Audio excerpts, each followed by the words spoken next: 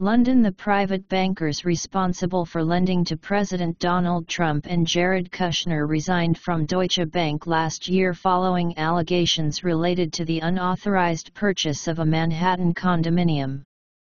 Germany's biggest bank said in U.S. regulatory filings that Rosemary Vrablic and Dominic Scalzi were permitted to resign effective December 31 following allegations that they engaged in undisclosed activities tied to a property investment that included the purchase of a property from a client-managed entity. The bankers also engaged in the formation of an unapproved outside entity to hold the investment, Deutsche Bank, DB, said in filings to the Financial Industry Regulatory Authority, FINRA. The allegations relate to the banker's purchase of an apartment in 2013 from Bergel 715 Associates, a company in which Kushner, a Deutsche Bank client, was a minority investor, according to a person familiar with the matter. The purchase was not disclosed to the bank and violated its internal policies, the person said. New York City property records show that Vrablic, Scalzi, and an associate purchased a condo at 715 Park Avenue from Bergel 715 for $1.5 million that year. Deutsche Bank declined to comment on Thursday. Attorneys for Vrablic and Scalzi also declined to comment.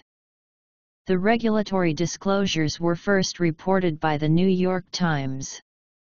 Charge of Deutsche Bank's private banking relationship with Trump after its commercial division stopped doing business with him.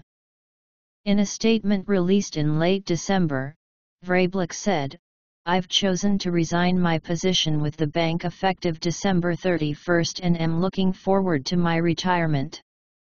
Deutsche Bank has decided no longer to do business with Trump, a source told in January, a move that will deprive him of a major source of loans that once helped fund his golf courses and hotels. The Trump Organization owes Deutsche Bank approximately $340 million in the coming years, said the source. Trump has several outstanding loans with Deutsche Bank, according to financial disclosure documents he was required to file as president. Trump has borrowed tens of millions of dollars for Trump National Doral, his golf resort in South Florida. Deutsche Bank has also provided loans for the Trump International Hotel and Tower in Chicago and the Trump International Hotel in Washington, which opened in 2016. The loans mature in 2023 and 2024.